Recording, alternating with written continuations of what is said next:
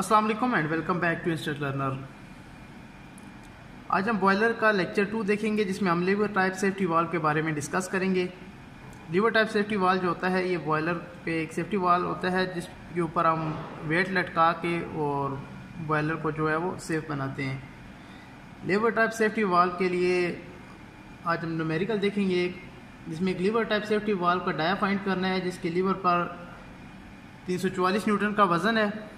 और वेट जो है वो, या लीवर की जो लंबाई है, वो है 800 मिलीमीटर इसको हमने मीटर में कन्वर्ट किया है 800 को हज़ार से डिवाइड किया, क्योंकि एक मिलीमीटर एक मीटर जो होता है वो हज़ार मिलीमीटर के बराबर होता है, ये ज़ीरो पॉइंट एट मीटर आ गया बॉयलर का जो प्रेशर है वो दस बार है, और एक बार जो होता है वो ten raise to power five newton per metre square होता है. इसलिए हमने दस को ten raise to power five से मल्टीप्लाई किया है.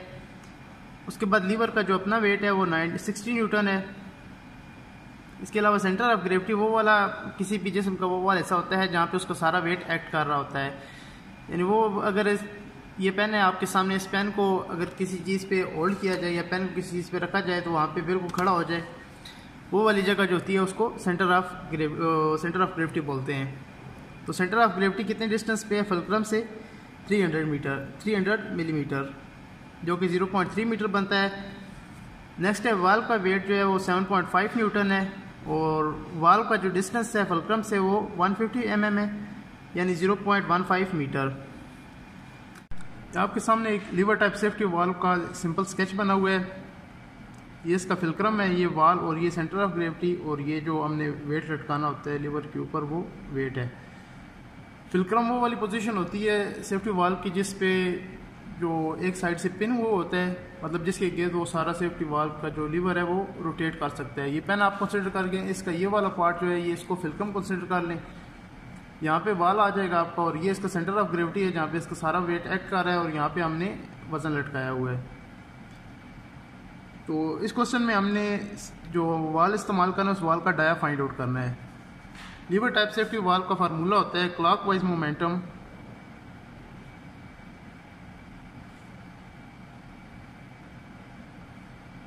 clockwise movement is equal to anti clockwise movement clockwise movement ये आप फोर्सेस जो लग रही हैं इसके ऊपर जो वाल का वेट है, ये डाउनवर्ड एक्ट कर रहा है।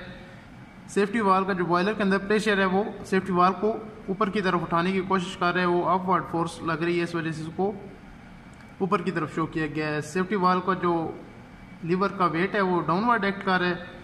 इसके अलावा जो एक्स्ट्रा वेट लगाते हैं, वो भी डाउनवर्ड एक्ट कर रहे हैं। जिस साइड पे फोर्स लग रही होती है, उसको उसी साइड पे शो किया जाता है। अब क्लॉक वाइज क्या होता है? क्लॉक वाइज होता है कि जब किसी भी बॉडी पे फोर्स लग रही है तो उसको अगर वो घड़ी की सिमत में मूव करने की कोशिश करे तो उसको क्लॉक वाइज मूवमेंट मूवमेंट कहते हैं। अब जैसे कि वेट हमें लटकाया हुआ है वेट डाउनवर्ड फोर्स लगा रहा है। डाउनवर्ड फोर्स लगा रहे हैं, जो यहाँ से फिलक्रम है, फिलक्रम से अगर वो डाउनवर्ड फोर्स लगाएगा तो उसको क्लॉकवाइज डायरेक्शन में रोटेट करने की कोशिश करेगा। सबसे पहले हमारे पास क्लॉकवाइज में वेट आ गया। Weight multiply by force, multiply by force arm. Force इधर लग रही है, इसका फलक्रम से डिस्टेंस है 0.8 मीटर, यानी कि एल प्लस सेकेंड हमारे पास कौन सी चीज़ है जो क्लॉकवाइज रोटेट करने की कोशिश कर रही है? वो है इसका सेंटर ऑफ़ ग्रेविटी, यानी लीवर का वेट मल्टीप्लाई बाय इसका फिलक्रम से डिस्टेंस। वेट कितना है? 60 न्यूटन है। 60 मल्टीप्लाई बाय डिस्टेंस कितना है? Zero point three metre plus अब वाल का वेट जो है, ये भी डाउनवर्ड एक्ट कर रहा है, ये भी इसको क्लॉकवाइज डायरेक्शन में ही घुमाने की कोशिश करेगा। वाल का वेट कितना है? Seven point five newton multiply by distance कितना है? Zero point one five metre is equal to anti clockwise anti clockwise कौन सी चीज़ आप इसको घुमाने की कोशिश करिए? वो वाली फोर्स जो इसको अपवर्ड उठाने की कोशिश करेगी। वो होगी anti clock wise anti clock wise में अब एक ही चीज़ हमें जो वाल्व है, इसको ऊपर उठाने की कोशिश करी है वो है प्रेशर अब इस साइड पे हमने सारी फोर्सेस ली हैं और प्रेशर जो है, ये फोर्स नहीं होती। ठीक है? प्रेशर किसके बराबर होता है? P is equal to F over A यानी प्रेशर बराबर होता है force acting on unit area अब इसमें से हमने फोर्स निकाल ली है। फोर्स बराबर है पी जरब ए प्रेशर को एरिया से मल्टीप्लाई करें तो फोर्स आ जाती है। अब प्रेशर हमारे पास कितना है? Ten multiply by ten to power five bar pressure आ गया, मल्टीप्लाई बाय एरिया। एरिया में नहीं गिवन है, मल्टीप्लाई बाय। प्रेशर जिस पॉइंट पे एक्ट कर रहा है, उसकी फिलकम से डिस्टेंस कितना है? Zero point one five metre. Weight की जगह इसकी वैल्यू लगा देते हैं थ्री फोर्टी फोर न्यूटन। और इसकी लीवर की लेंथ है ज़ीरो पॉइंट एट मीटर। अब इस सबको सोल्व करेंगे आपस में। यह आ जाएगा हमारे पास two seven five point two plus sixty multiply by zero point three. यह आ जाएगा eighteen plus seven point five multiply by zero point one five. यह आ जाएगा one point one two five is equal to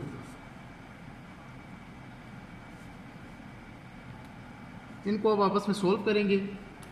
इसको आपस में multiply करेंगे तो ये आ जाएगा हमारे पास one five zero zero zero zero और एरिया साथ में ऐसे ही मल्टीप्लाई हो जाएगा। अब इन सबको ऐड करेंगे। Two seven five point two plus eighteen plus one point one two five ये आ जाएगा two nine four point three two five equal to one five एक अब, हमने एरिया फाइंड करना है एरिया इधर ही रहेगा। ये इधर आके डिवाइड हो जाएगा two nine four point three two five divided by one five one is equal to अब एरिया कितना आ जाएगा हमारे पास?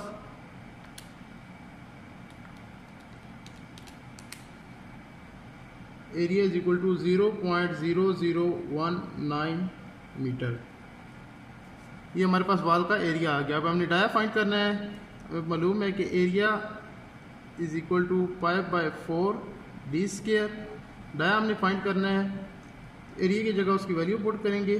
Zero point zero zero one nine is equal to five by four की वैल्यू फाइव की value होती है three point one four into D square divided by four four अब इधर आकर मल्टीप्लाई हो गया इसके साथ. Zero point zero zero one nine multiply by four is equal to three point one four D square ये हमारे पास आ गया zero point zero zero seven eight is equal to three point one four D square three point one four इधर आके divide होगा.